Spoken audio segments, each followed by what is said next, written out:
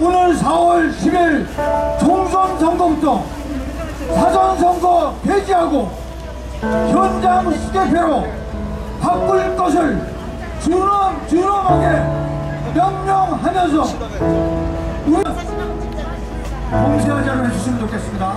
사전 선거 수개표 완전한 봉쇄하자 부탁드리겠습니다. 고도덕질 완 오대환 2023년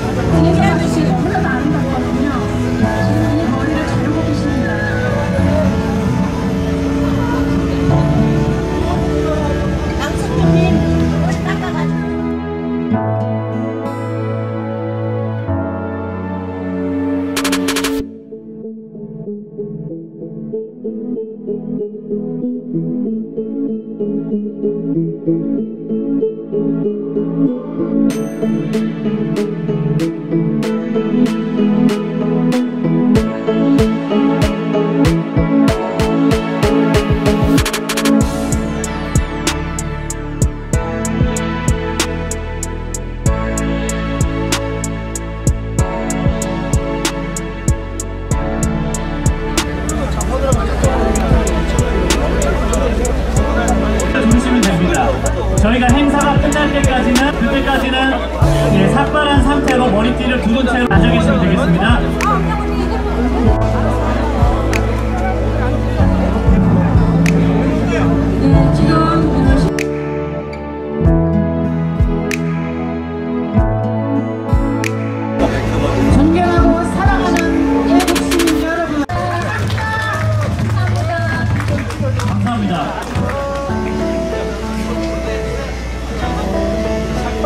계속 삭발식을 이어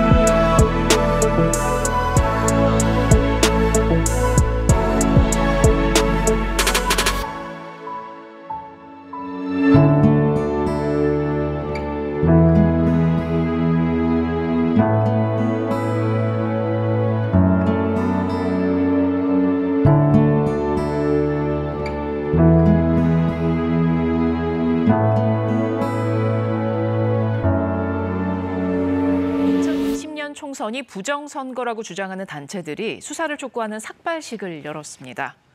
자유우파 총연합 등 30여 개 단체는 오늘 오후 서울 용산구 전쟁기념관 앞에서 4.15 부정선거 규탄 대규모 삭발식을 열었습니다.